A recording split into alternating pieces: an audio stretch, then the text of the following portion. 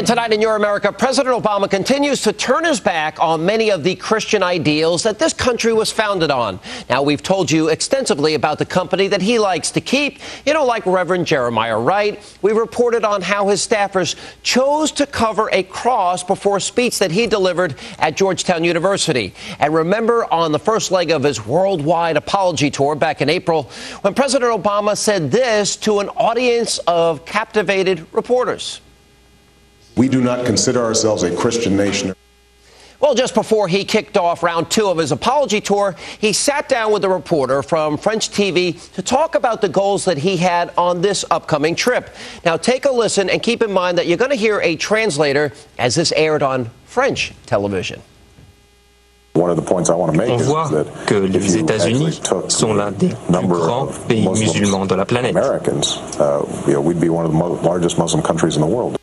All right, so we're not a Christian nation, but we're a Muslim nation? Joining us now with reaction, Fox News contributor Juan Williams, former prosecutor, Fox News anchor, and analyst Kimberly Guilfoyle. Guys, welcome back. Juan? Good to be with you, Sean. Eh, He covered, the, we know what happened at Georgetown. We know that he went out there and he said, We're not a Christian nation, which is blatantly false. There are 1.5 billion Muslims in the world, maybe 3 million in the United States of America. I'm, I'm trying to first figure this out because it's not true. Your thoughts?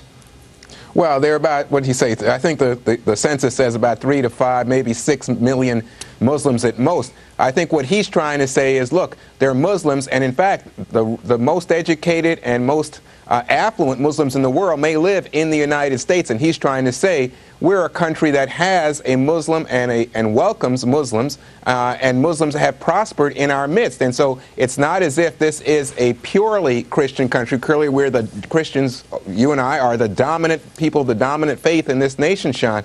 But we and the founding fathers agreed that the government would establish no state religion here. But- but- and but we don't I- I- I'm make not any laws disagreeing. that, that we don't have a church. We don't have like a church of the United States like they have a church of England. Now, uh, and, and that was the specific reason why they did that, Juan. But let me, let me turn to Right. Ki- Kimberly here.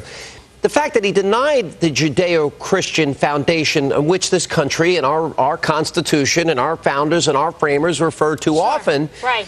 We are far more a Judeo Christian country than we are a Muslim country. You got that right, Sean Hannity. Right now, the founding fathers, they're doing a whoa, they're rolling back, flipping over in their graves because last time I checked, it was in God we trust, one nation under God, not one nation under Sharia law, Juan. So I'm not quite sure what history books he's reading to make that kind of statement. You're making an explanation, trying to give him the benefit of the doubt. I appreciate that, but he's the president of the United States, and no other president has made that kind of statement before. Uh, Well, I think I don't think that we I don't think we Christians have a hold on God. I think God belongs to all, but I think that there are different prophets and different ways of worship, and I think that's what the founding fathers had in mind. You know, well, Juan, let, let me go back to the issue because I, I think we have done more, and this is what really irked me about the apology tour the last the last time. Yeah. we we have, I remember. we have done more to beat back totalitarianism. And when he went to Europe, he ought not to have apologized to Europe.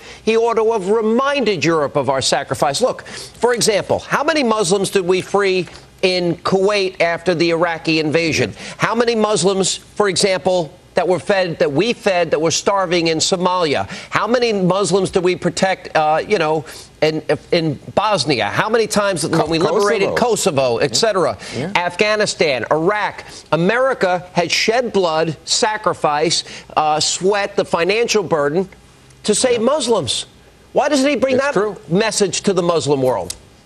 Because I think what you what you have to realize is he's going against this perception that we're also people who've invaded the Muslim world, and all of this is true. What but do you I'm mean invaded you. the I Muslim think he needs world? to focus What do you more mean on the invaded the Muslim sacrifices. world?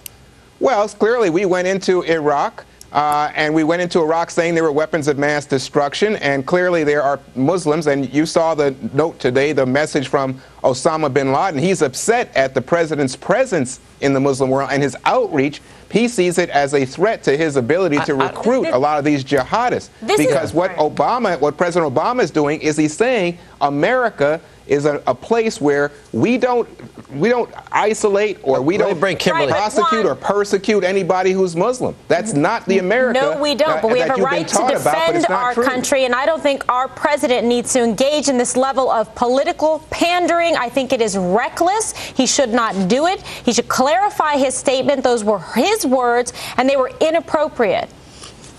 Why were they inappropriate? He has no business making a statement like that. That this is a Muslim country. It's not a Muslim country. Well, it's not we a may be Muslim country. That's inviting a- that's and inaccurate. welcome all different people from different races Well, he said and it was different we religions. would be one of the largest Muslim countries in the world. right. But but but here's That's I guess here's the either. point too.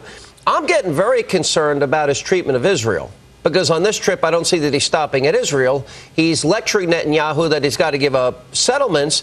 He, on the on the eve of this tour, tells Iran that it's okay to go nuclear while he's telling America that we need solar power and wind power and we're not building nuclear power plants here in the United States.